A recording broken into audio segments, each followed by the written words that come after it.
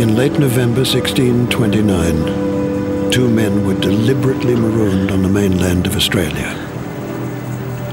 Involuntarily, they became the first European settlers of the then unknown land of Terra Australis. Their story was part of one of the most gruesome events in maritime history.